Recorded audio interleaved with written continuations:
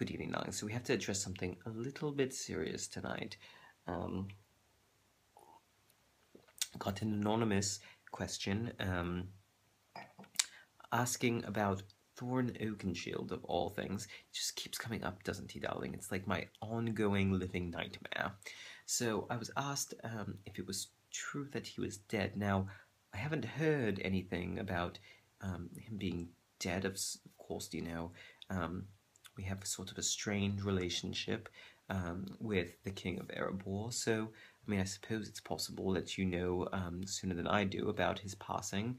Um, well, I'll send word and sort of find out if if that happened. Now, it's true that he was mortally wounded, and you know we all thought he had kicked it, but the smug bastard just wouldn't die. So, unfortunately for us, he's still around, isn't he? Well, unless something's happened to him since, darling. But I'll figure that all out, and um, I'll keep you. I'll keep you updated on that. But no, as far as I know, he's still very much alive and causing me um daily annoyance. So um, I hope that answers your question for now, darlings. And ta ta.